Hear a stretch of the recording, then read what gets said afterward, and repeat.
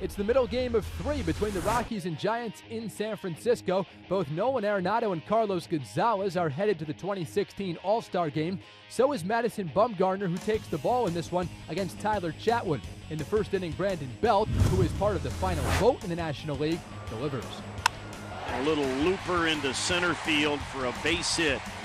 And Belt brings home Pagan, and the Giants have a one to nothing lead on the unearned tally, but they hurt just as much. Madison Bumgarner with runners in scoring position. The league's hitting 151. This ball is down the right field line. This could be good news for the Rockies if it's fair. Oh, what a catch! What a catch by Mac Williamson. That saved, that three, saved runs. three runs. Unbelievable.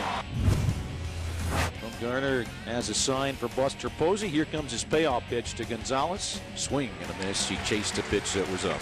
2-2 pitch all the way to Raburn. Swing and a miss. He got him. Strikes out two of the three Rockies. Sixth inning for a 1-2-3 frame. Rockies down 2-0 here in San Francisco. Now you have the tying run at second and Arenado at the plate. Nolan with two outs and runners in scoring position, hitting just shy of 400 at 394. This ball crushed deep left center field. Got a chance. Home run. Nolan Arenado. Take that, he says. And the Rockies are in front 4 to 2. He has tormented the Giants for two years.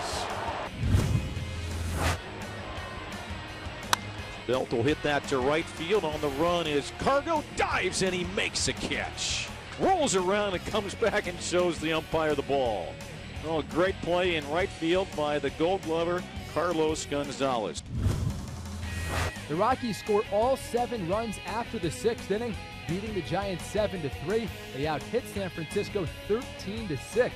Neither starter factored into the decision. Madison Bumgarner went six scoreless, striking out six, while Tyler Chatwood threw five innings, allowing only a single earned run.